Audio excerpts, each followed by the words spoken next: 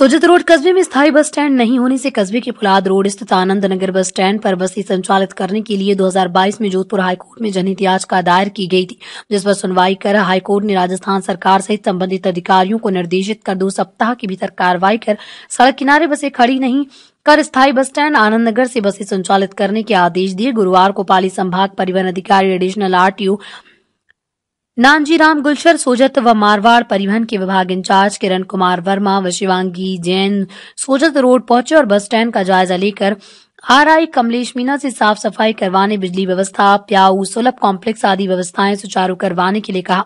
बसें कल से आनंद नगर बस स्टैंड पर संचालित करने के लिए बस ऑपरेटर्स को निर्देशित किया। बीस वर्ष बाद आनंद नगर बस स्टैंड पर संचालित होंगी बसें। इस समय मौके पर आर आई कमलेश मीना पटवारी हेना चीना राम हाजी शमसुद्दीन ओम प्रकाश समरिया सहित ग्रामीण मौजूद रहे। रोड में बस स्टैंड के संचालन को लेकर क्या कार्य किया करवाया जा रहा है आपके द्वारा?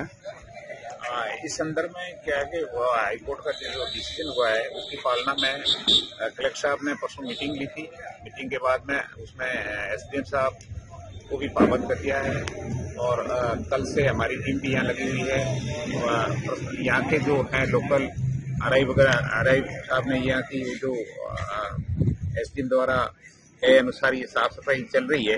ये साफ़ सफ़ाई जैसे चलनी एकदम हो जाएगी क्लियर हो जाएगी।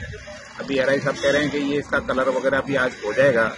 तो जैसे ही साफ़ हो जाता है तो हमारी टीम लग करके जो भी यहाँ बस संचालित है बस इस रोड पे चल रही है वो सारी बसें इस बस स्टैंड पे आएगी और जाएगी।